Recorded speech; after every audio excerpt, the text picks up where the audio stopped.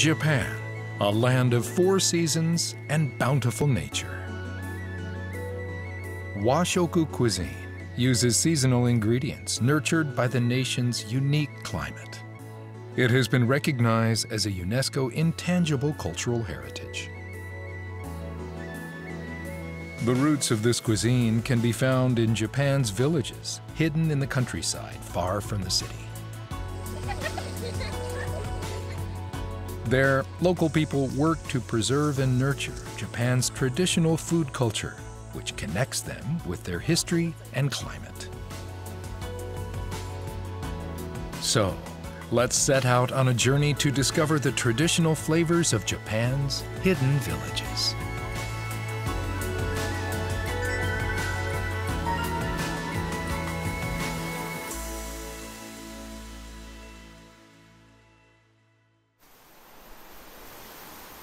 The inland of Shikoku, an island in western Japan, is a region of steep mountains called Nishiawa.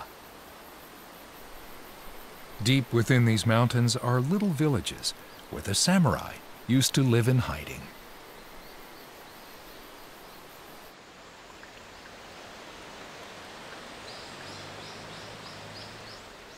Writer Rebecca Milner will be taking us on this journey.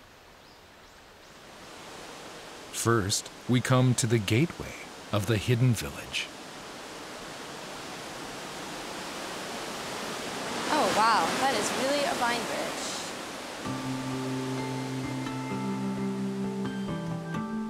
bridge. This bridge, called Kazurabashi, is a very primitive suspension bridge made of mountain vines. This bridge was once the only means of crossing this mountain stream.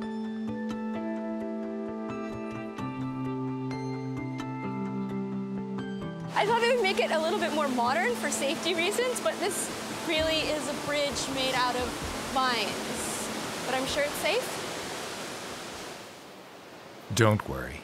Cables now run through the vines for safety. Okay, let's go, Rebecca. Let's open the door and take the first step into the hidden village.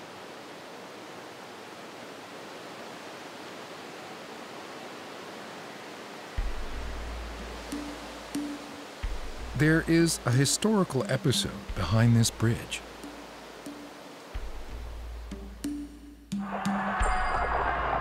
Some say that it was made more than 800 years ago by a clan that had lost in battle and was living in seclusion.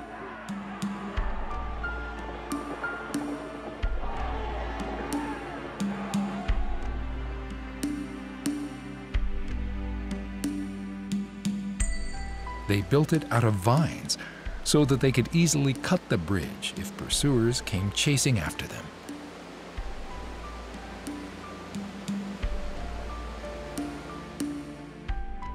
The bridge is rebuilt every three years because it deteriorates quickly. The villagers have thus helped to protect this bridge.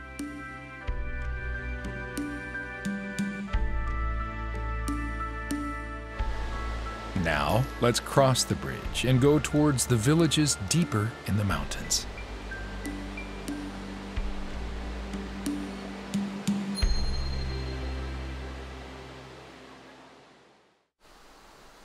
Can see the villages now. From here, we will be walking up the mountain path.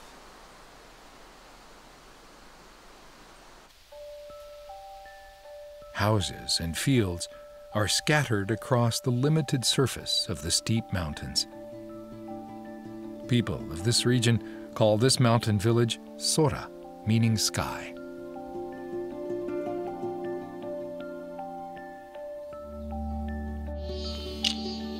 There is barely any flat land, and the fields are on oblique plains.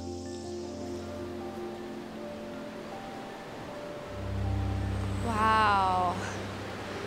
These are some steep mountains. What is life like on these steep slopes?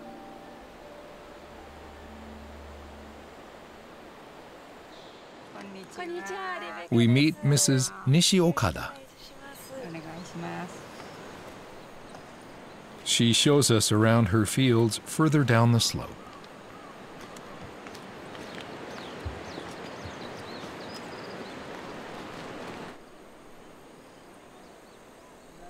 Mr. and Mrs. Nishi Okada have cultivated their own fields on this steep terrain of 25 degrees and are mostly self sufficient.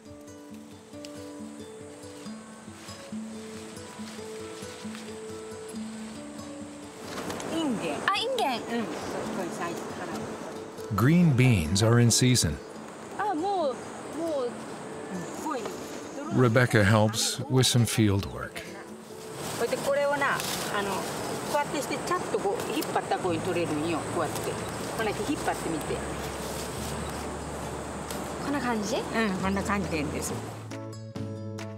It is it is fun. It's satisfying uh, to snap them off.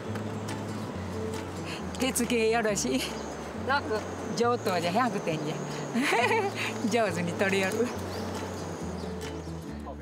They grow their vegetables with care, without using any chemical fertilizers or pesticides. There is a local wisdom that enables this sort of sloping land agriculture. 何ですか？声黒って言うんです Koeguro are made by piling up thatch. They're indispensable for their agriculture. By laying out these koeguro in the fields, erosion can be prevented even on the sloping land after rain or strong winds. Furthermore, they gradually become compost and provide nourishment for the soil.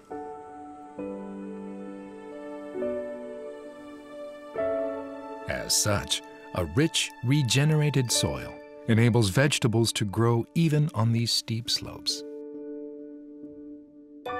In the fall, the villagers crop thatch together. There are areas secured especially for their cultivation. They then bring them back to their own fields and make the koeguro.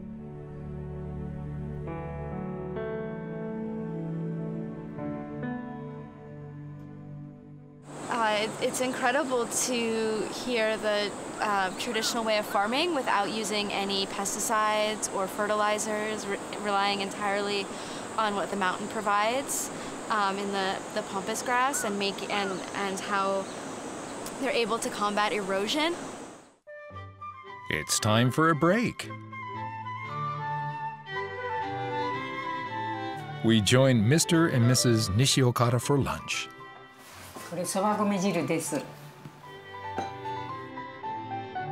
This is a local traditional dish called buckwheat porridge, using buckwheat grown in the fields.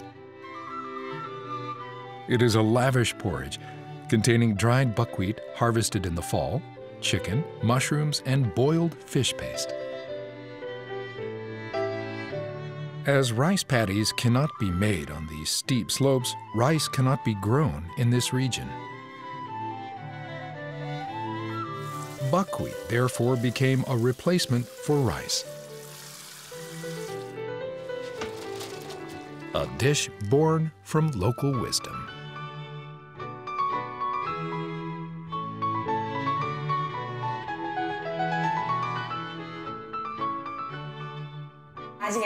と思うけどお醤油が。美味しいです。美味しいですか、日本ではあのお蕎麦はよくあの麺麺うん、あのそば切りって言ってなそう、うん。ねなぜこういう食べ方があのこれがもう一番あの保存食になるけにな。あ、うん。保存？保存きできるんですこれは。乾かしとるけん Villagers used to become isolated when it snowed, so they came up with ways to always have food available by drying and conserving crops each season. This is Hari Hari Daikon, it is also a traditional preserved food.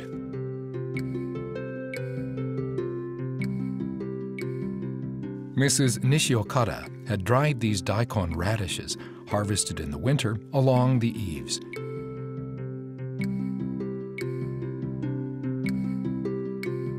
Each household thus preserves their own food and consumes it throughout the year.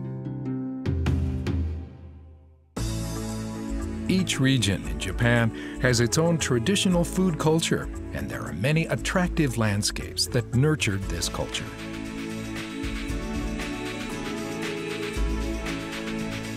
These regions are accredited through a Japanese Ministry of Agriculture, Forestry and Fisheries project called Savor Japan.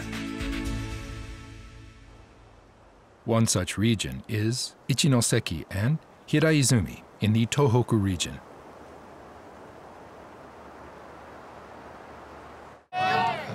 Together with the aristocratic culture that flourished after the 11th century, a food culture unique to this region has passed down through the ages. Mochi rice cakes are being thrown at a New Year's festival.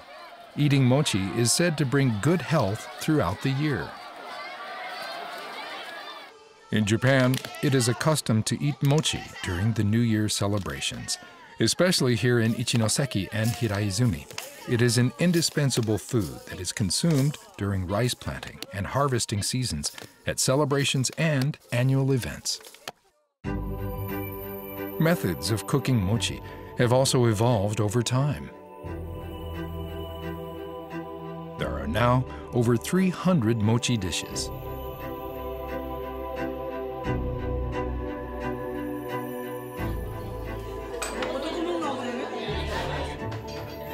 Freshly pounded mochi is very soft and the taste is exceptional. There is a refined way of eating it, abiding by the rules of etiquette that have been passed down for 400 years. There is even an order in which they must be eaten. In Ichinoseki and Hiraizumi, Mochi is therefore not just a traditional food, but a culture that has been passed down through the ages.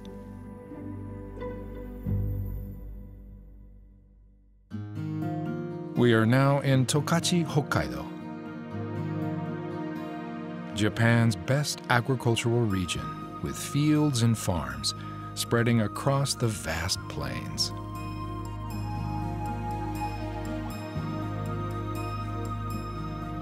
The region is Japan's leading producer of onions, wheat, and potatoes.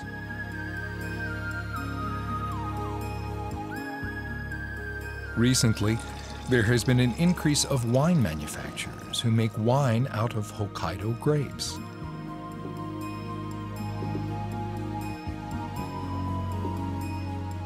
Over 120 years ago, some settlers developed an agricultural land despite the harsh environment where winter temperatures fall to minus 30 degrees Celsius.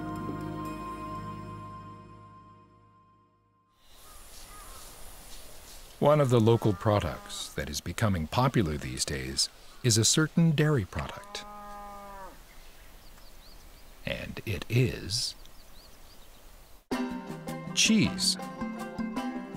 In Hokkaido, there are many dairy farms 90% of Japan's natural cheese is produced here, 80% which is produced in Tokachi.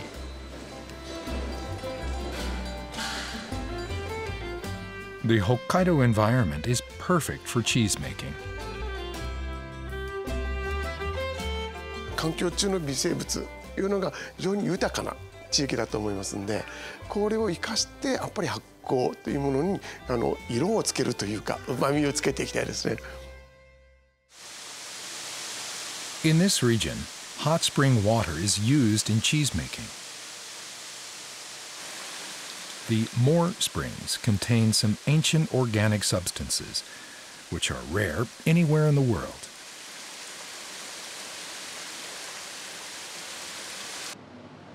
The hot spring water is used in the last process of making raclette cheese.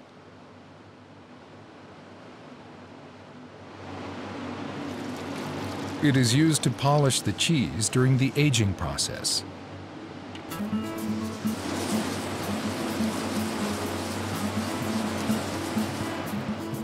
The ingredients in the hot spring creates a whole new aging process, giving birth to the Moor Wash Cheese brand. The taste is mild, a characteristic of Tokachi cheese.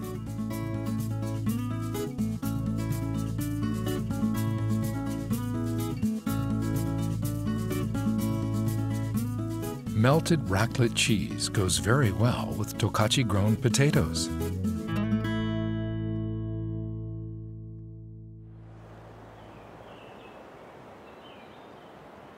Now, let's return to Nishiawa in the Shikoku region, where we have yet to explore more on their food culture. Rebecca finds something very rare at a local shop.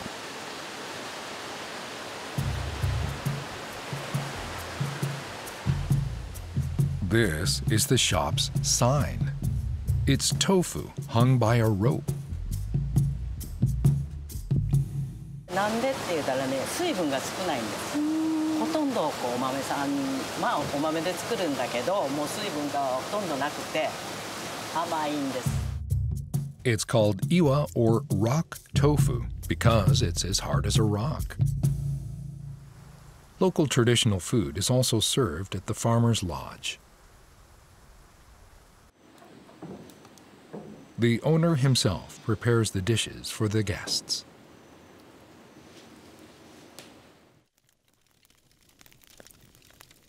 There is a flat stone placed in the Irori fireplace.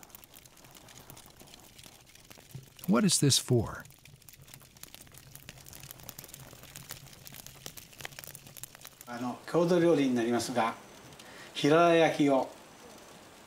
あの郷土料理になりますが平良焼きをあの実演してみたいと思いますので Hirarayaki is a dish prepared on a flat stone with miso walls. Ingredients are cooked inside these walls. At the lodge, guests can also help with the cooking. はい Local ingredients, such as the ayu fish from the river, are placed inside the miso walls. これはあの自家製のこんにゃくになります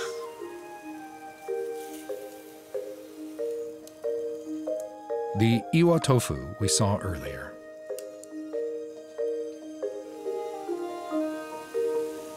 Sweetened miso is poured over the ingredients and left to simmer.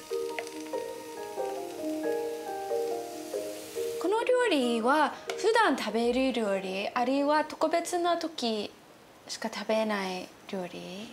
仲間たちがあの集まった時とかそういう時にお盆とかそういう時に家族で平良焼きを囲んで雑談をするという。まあそういうような風習の中で始まった料理です。そうお祝いする時もこれが一つの楽しみ。そうですね。Skewers are placed in the irori fireplace.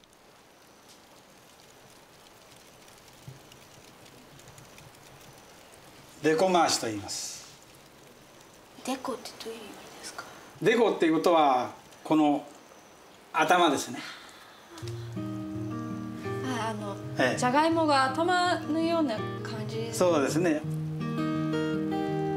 When cooking the ingredients on the skewer, the deco or head is turned to prevent them from burning.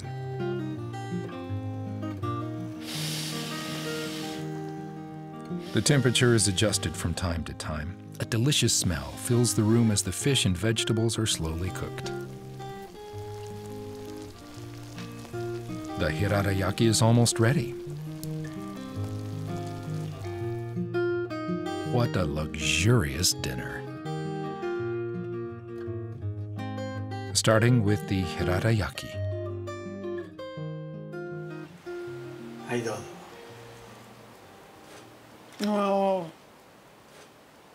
so good. Like the skin is all crispy from the um, from the glaze, and the fish inside is all fluffy. It's it's really good. the iwa tofu is also used in the deko mawashi, this time having a more fragrant flavor.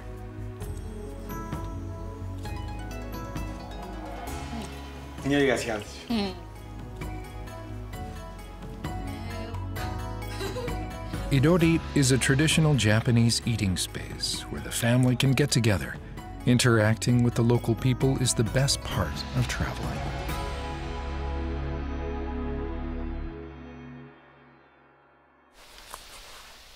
The next morning, we set out to see extraordinary scenery recommended by the lodge owner. Oh, wow, what an incredible view.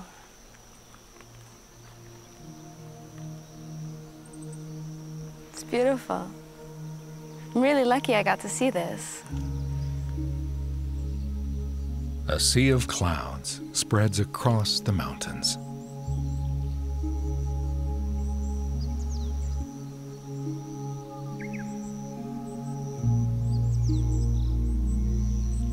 It's just surrounded by these mountains. There's so little reminder of, of the rest of the world.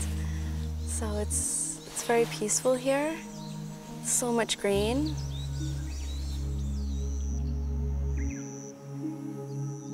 In the 1970s, one visitor from overseas came to the Nishiawa area and was fascinated with the traditional lifestyle and scenery. Alex Kerr, an American Oriental culture researcher, named this region the Hidden Paradise, and together with the people living in the area, he restored an old house that he had purchased to conserve the remaining scenery. This house is now being used as a guest house and is becoming popular among travelers from abroad.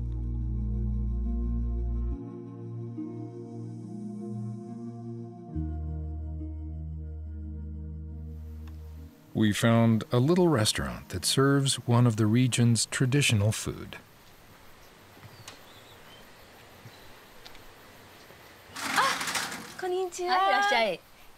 This is Deiko Tsuzuki. Here, one can experience traditional soba noodle making. Buckwheat soba is one of the region's local products. Nishiawa buckwheat has a richer taste compared to noodles from other regions. 手のひら上げてみて三角になってるでしょ でいいあのここで取れたおそばこんなちっちゃい。あ、普段よりあよそやりな。あったかいところにこれ寒暖の差が厳しいためにこんなちっちゃなものしかできない。その代わり香りが香りがよくてあの美味しい。じゃあこれをこうして入れてもらって。で右手でこれを持ってこうして回しながら少しずつ入れる Buckwheat is ground to a powder in this millstone.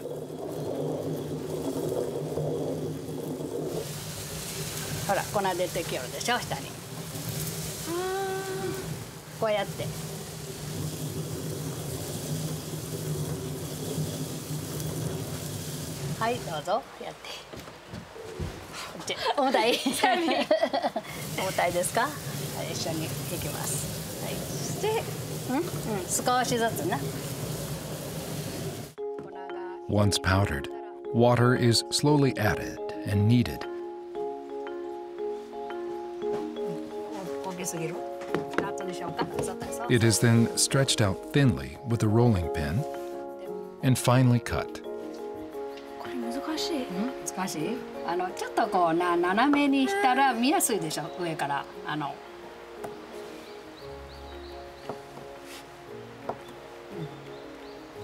Oh yeah, that's a lot easier.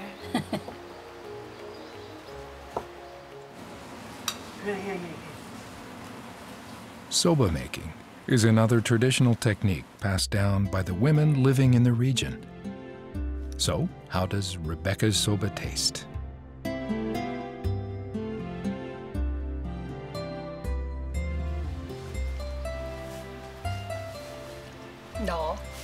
しい美味しい ボロボロに切れとるでしょそう、うん、つなぎがな余計入ってないけんこれの方が食べやすい食べやすい美味しい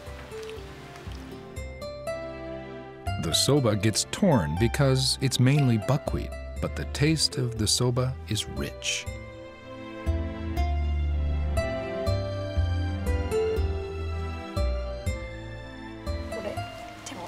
天ぷらもこれ鹿肉の鹿肉そうあのジビエジビエ Jibie, or game such as deer and boar meat, are often consumed in this region. 美味しい嫌な嫌な匂いなんかもないでしょ Suzuki enjoys telling travelers and passing on stories about the lifestyle and food culture. 昔の人はほんまに夜中にな、うん夜鍋仕事にしよった。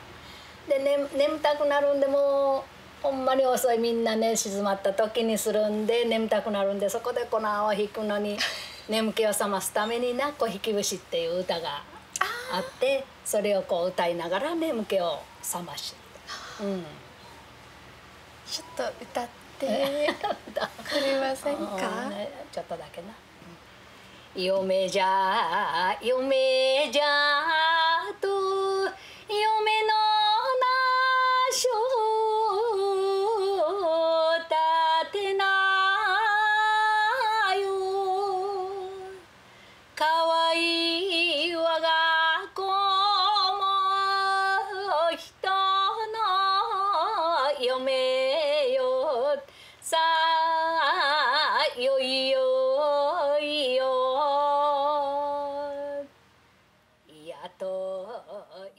Uh, so you really feel like you're making a journey. Uh, you know, every everything about uh, you know sort of modern Japan sort of sort of falls away, and uh, it it does feel like you're coming to a secret hidden place, and uh, it's incredibly beautiful with the the mountains. Uh, I feel really lucky. It's so green. Take a deep breath and really breathe the mountain air.